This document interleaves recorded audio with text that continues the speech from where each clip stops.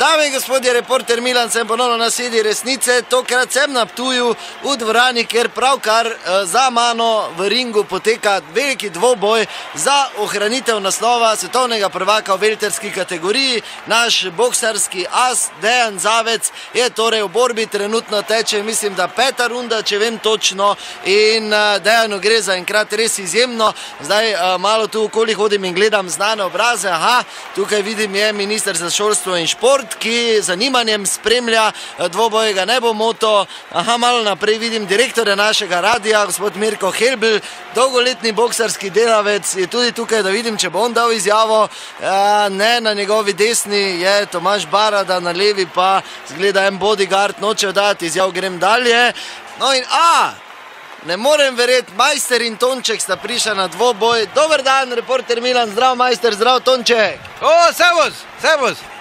Kaj sta prišla na boks? Ja, Dvigni, dvigni roke, dejan, zdaj ga imaš, no. ja ma, majster me je pripelo malo. Kaj če veš, kako sem pa jaz prej meni tu na nogo stopil, jaz bi ga kuj zažgal, že leva, desna, gor, jaz sem čist nor, no že. Ja, pa umiri To, se. dejan, to ja, daj ga. Ha, majster, pa lepo. mater, kaj, kaj bo to ti še vse predstavil, če? Majster, gledaj, tu. Kaj? Ja, majster. Pa daj mi mir, zdaj kaj si noro, kaj si? Aperkat mu daj.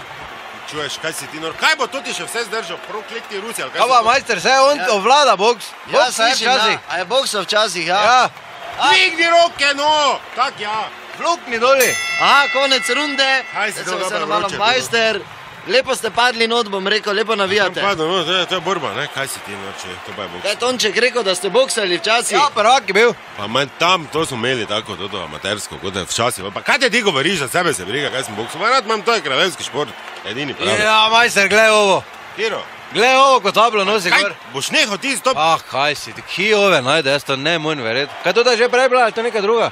Čuj, ne vem, ker me ne zanima. Čuj, Milan, da pa to jaz v klinč dobim. Kaj si ti, no več kako bi delo. Klinč, Sodnik bi pet minut bi štev. ena, ena, ne? In tako Ja, ja, ja, to viš, veš, veš, kaj je, kaj.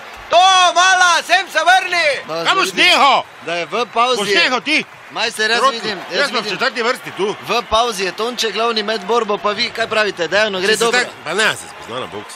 Ne, se, Ne? ne, se spozna, če pa je v prvi rundi se der primi ga, pa ga dol vrži, pa to da finte, se še ni bil, revček. Se, se danes ne več vejo, to pa gostilna, samo kaj je bilo. Samo malo, majster. Kaj pa se spomnite, zdaj pred par tedni nazaj pri Marici, ko vam je oni na hrbet gor skočil?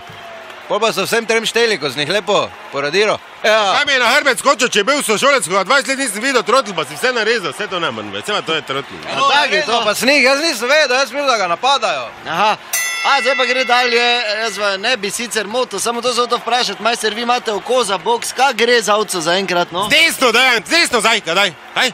Kaj gre za veco zaenkrat? Če to se ne vpraša, kaj gre za veco, kaj gre onemu, onemu za minute štete. Pa zvijo, kaj je že na kiko v toto glavo, kazahstansko, oni še kuj stoji, zdaj ja celi bulas, jaz ne vem, kaj to človek glav stoji, daj ga zdaj z levo, ga daj. Nogo, z nogo, gor, gor pod brado. Pa kaj si trotl, se ni barada, če ti z nogo ne smeš pri boksu. Ja, Tonček z nogo se ne sme, samo z rokami, veš? Te pa z glavo. Še zdaj ten glih bom poslal.